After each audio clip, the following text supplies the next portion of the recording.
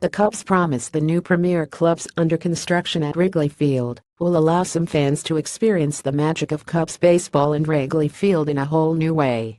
Fans purchasing season tickets for the clubs will certainly have to dip into their pocketbooks in a whole new way. Prices for the four new clubs, including the American Airlines 1914 Club, that will open next season in the lower deck behind home plate, have been revealed, and fans will have to pony up to experience games in luxury. The cost of 600 plus season tickets for the 1914 club will range from $400 $695 per ticket per game, as much as $56,295 for the 2018 season. The price includes taxes, food, soft drinks, beer, wine and liquor. The most expensive tickets will be closest to the field and decrease in price the higher the row.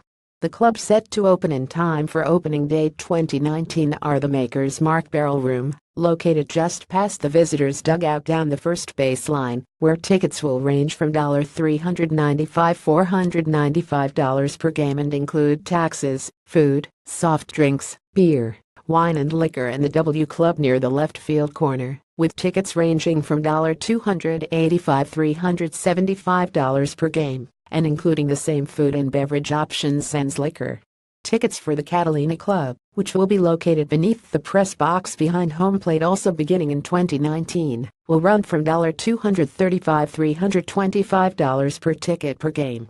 The Cubs didn't set the ticket prices without doing their due diligence, according to Cale Vennum, the team's vice president of ticketing.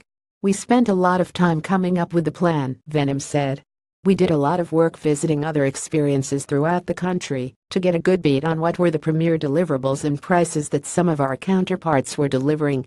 We went to everything in market in Chicago and La Minnesota, Atlanta, all over, looking at new buildings and experiences before offering our ticket plans, and then making sure we were still feeling good about the value we were providing to our customers.